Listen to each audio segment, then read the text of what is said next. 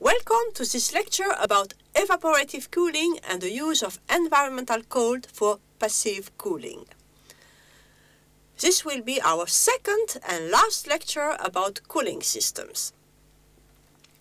Water vapor condenses at 100 degrees Celsius at atmospheric pressure, as we all know. But what happens if this water vapor is mixed with air, like happens in reality? The air is humid, we say, meaning that it is not pure air that we are living in, but a mixture of air and water vapor in different quantities depending on season and climate. Let's take a volume of air at atmospheric pressure, 1 bar. If there is pure air, the pressure of the air is 1 bar. If it is mixed with water vapor, this water vapor takes a certain place in the volume and this is reflected in what we call the partial pressure. The less water vapor, the lower its partial pressure and the higher the one of the air. You see in this graphic the partial water vapor pressure corresponding to a certain quantity of water vapor in 1 kilogram air. Also, when the air feels very humid, the absolute content of water remains low See here, it varies from 0 gram completely dry air to 20 gram per kilogram dry air, which will feel extremely humid at high temperatures. On the vertical axis, you see the partial pressure of the water vapor. Of course, it is very low, as there is in fact little water vapor. If you now remember the boiling curve of water, you see that at these very low pressures, water can boil and condensate at temperatures much lower than 100 degrees, meaning that at room temperature or outdoor temperature, water will evaporate already. And you also have learned that when a fluid is evaporating, it takes a lot of heat from its environment. So if you inject water droplets in air, it will automatically evaporate because of the low partial pressure, and by evaporating, it will take its needed latent heat of evaporation from the air, which of course will cool down. That is the principle on which evaporative cooling is based. There is a limitation to this, which is the temperature of the air. Depending on this temperature, there is a maximum of water vapor that can be included into the air. When this maximum is achieved, the air is said to be saturated and cannot absorb any more water vapor. For instance, at 20 degree, air cannot absorb more than 7 gram of water per kilogram air. Imagine that we inject 5 grams of water droplets in dry air at 25 degrees. The partial pressure of water vapor is then 0.08. At this pressure, the latent heat of evaporation of water, which is shown in the right figure, is 2488 kilojoule per kilogram. As we have 5 grams, we have to multiply this latent heat by 0.005, which gives 12 0.4 kilojoule. This heat is taken from the air, which will then cool down using the well-known formula Q is mCp delta T.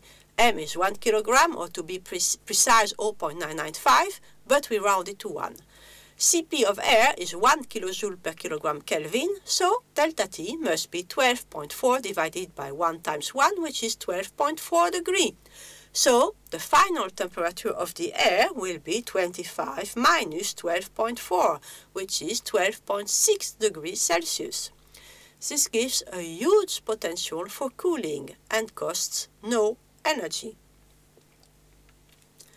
Of course, the efficiency of the process is not 100%. Some droplets may not vaporize. It is generally assumed that the efficiency of vaporization is somewhere between 60 and 80%, meaning that much more water is needed than the 5 gram we just discussed in the example.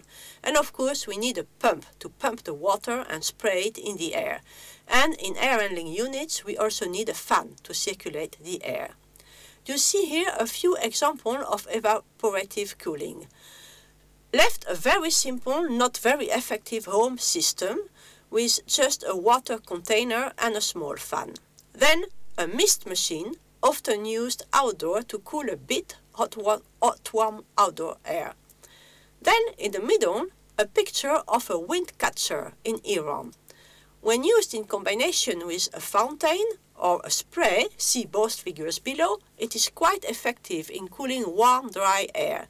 The last picture shows how it looks like in a simple air handling unit. The air is forced along the sprayers and is cooled this way.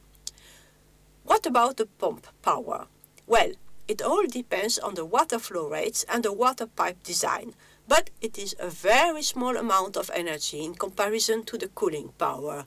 Evaporative cooling is very efficient in terms of energy usage and we can by approximation neglect the energy use of the pumps. However, it is not applicable in humid countries, as the air there is already close to saturation. Be also aware of a potential danger of evaporative cooling. As the water has a low temperature, it may contain the Legionella bacteria that can cause serious lung infections. It is therefore important to regularly heat the water tank above 60 degrees for a few minutes or to use chemical disinfectants like chlorine. Let's now study the possibilities offered by passive cooling, fully based on the use of environmental cold. In many cold and moderate countries, it happens that there is already a cooling need while the outdoor temperature is lower than the indoor one. This can happen when there are a lot of solar gains and when the internal heat load is high. Think of a meeting room or a classroom, for instance. In this case, additional ventilation with outdoor air will help cooling the building. How much cooling this can bring depends on the energy balance and was studied in the course Energy Demand in Buildings. All over the world, nights are generally cooler than days. In the course Energy Demand in Buildings, we touched on the fact that buildings retain a lot of heat in their construction. In heavy constructions like concrete walls, the building will hardly have time to cool during night, so the temperature in the morning will be already warm and will keep increasing during daytime because of solar radiation and occupancy. It is therefore an efficient strategy to try to cool the construction as much as possible during night by ventilating the building with cold night air. This way, the construction walls will be cooler in the morning and the temperature during day will be lower. Making estimates of how much cooling can be gained this way is beyond the scope, the scope of this course and will be handled in another course for advanced thermal simulation. Let's look now at the potential of the ground. In general, the shallow ground is colder than outdoor air during the hot season. There are therefore passive systems making use of this by circulating the outdoor ventilation air through pipes in the ground, so-called earth tubes. The air is then cooled by the ground. Similar systems are used by having the air circulating in a cool basement, for instance. It is important to take care that pipes and basement are clean and that no condensation occurs to maintain a high air quality. If the pipe becomes humid, because the water vapor condensates on its surface, it can facilitate mold growth and the air can smell stuffy. As for the sizing of these pipes, which may need quite some length, it is all about the conduction heat transfer between the pipe and the ground and the convection heat transfer in the pipe. These estimations are beyond the scope of the course. And what about the use of surface water? Surface water may be a pond, a river, a lake or the sea.